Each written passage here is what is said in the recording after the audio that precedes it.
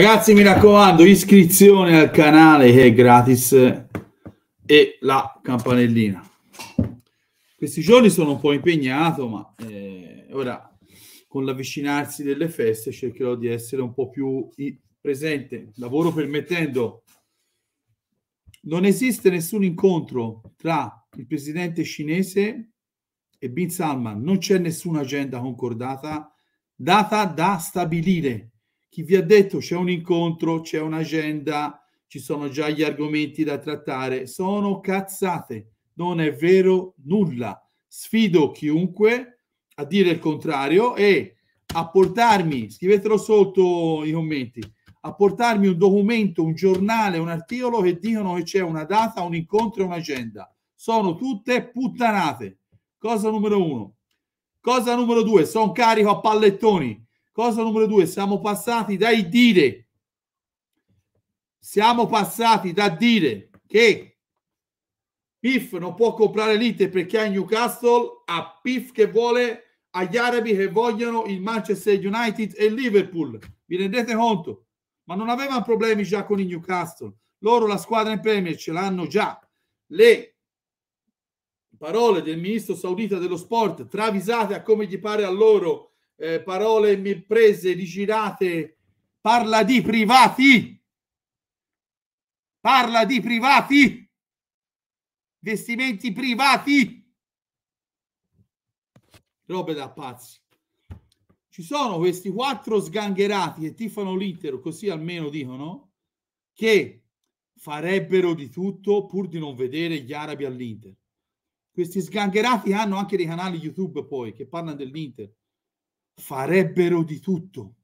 Guardategli le facce.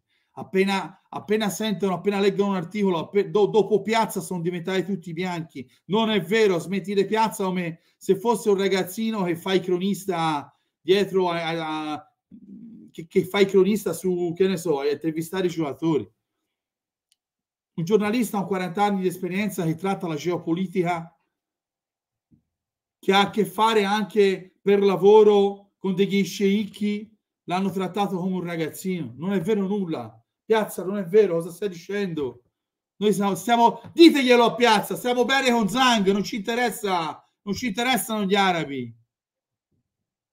Andiamo avanti con Zang fino a giugno e allora siamo sempre lì. Spiegatemi come si fa ad andare avanti con Zang fino a giugno. Tra l'altro, Mediaset Sabatini ti dice che entro 6-7 settimane l'Inter cambierà di proprietà ti dice non so se sono arabi, non so se sono, saranno americani, per l'amor di Dio. Ma i nomi degli americani chi li sta facendo?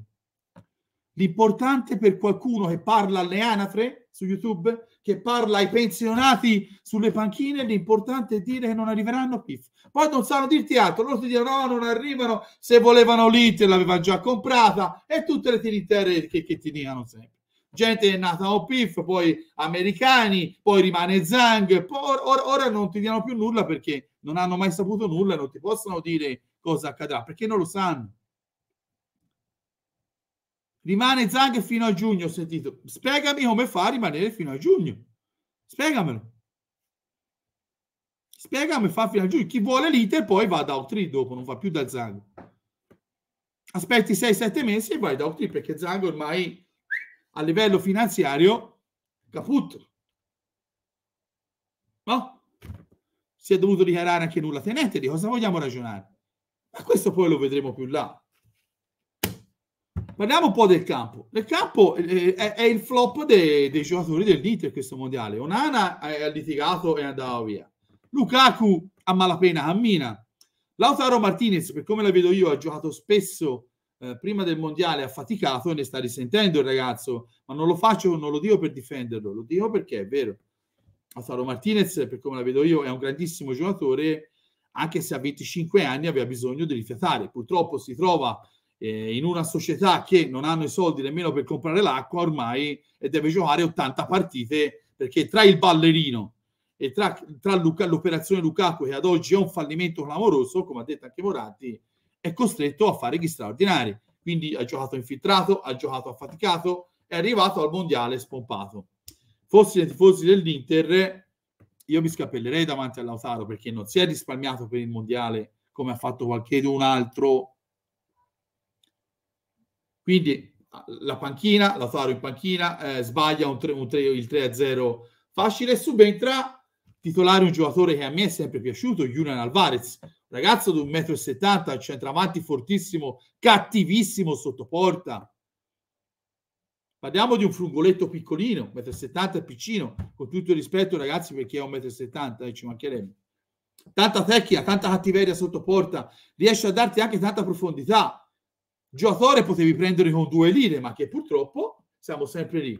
Ormai 10-15 milioni per l'Inter sono diventati eh, degli scalini insormontabili, non puoi più spendere 10-15 milioni, se non di lire. Ma il flop, il flop clamoroso è quello di Lukaku, Gosens che non va al mondiale, cioè, capito? Speriamo che almeno riescano a dare qualcosina in più all'Inter, ma ripeto, per come la vedo io, Lautaro ci è arrivato spompato, De Vrij fa panchina, ehm, Lukaku, ragazzi, Lukaku non sta bene, cioè è inutile. Di cosa vogliamo parlare? Lukaku non sta bene, siamo a dicembre, eh. non sta bene ragazzi. Oggi ripartono gli allenamenti, le vacanze sono finite. Speriamo che qualche duro al mondiale per assurdo allora a questo punto eh, si, sia, si, sia, riposato, perché poi dopo alla fine eh, noi in questa frase transitoria dove Steven Zang è in America, laddove sta preparando la sua vita privata, perché lui da Milano si trasferirà in America e chiedetevi anche perché la sorella e la madre abitano a Los Angeles da una vita e non abitano in Cina, stessa cosa farà lui, lui non tornerà in Cina, lui si trasferirà in America. Quindi lascia l'Inter e andrà in America. Poi ragazzi, eh, ho sentito parlare in questi canali che parlano alle anatre, hanno dato le date. Chi le ha date le date? Prima della Supercoppa, dopo la Supercoppa? Noi non abbiamo mai detto questo, quindi sono purtroppo a ridirti un'altra volta di non fare minestroni e di non mistificare le parole. Capisco che ora siete passati da non esiste nessun arabo a tutto può essere. Ora però siete ritornati a che gli arabi non ci, non, non ci possono più essere. Mantenetela una linea perché siete ridicoli comunque. Capisco ormai i canali siano morti, ma ragazzi, la dignità dov'è? La dignità dove, dove sta? Dove sta la dignità? E tanto loro te li puoi lasciare anche perdere, ma loro continuano bo, bo, bo, bo, e non c'è nessun PIF e non c'è nessun arabo. Chi c'è allora? Chi c'è? Riesci a fare una trasmissione un pochino strutturata? Come va avanti Zang? Spiegalo, non dire non ci saranno gli arabi. Hai fatto un nome di un americano e non esisteva. Chi c'è? Visto e sai che non arriva gli arabi, devi sapere anche chi arriva. Chi arriva? Diccelo. Fenomeno, PIF 118 chi arriva? Diccelo. Visto che non arriveranno gli arabi, per l'amor di Dio, puoi dire quello che vuoi, ma chi arriva? Non dirai mia Silver Lake, vero? Perché Silver Lake è l'unico nome sensato che hanno fatto, ma poteva essere usato come private equity come ha fatto, eh, come ha fatto il, il Manchester City con CPC.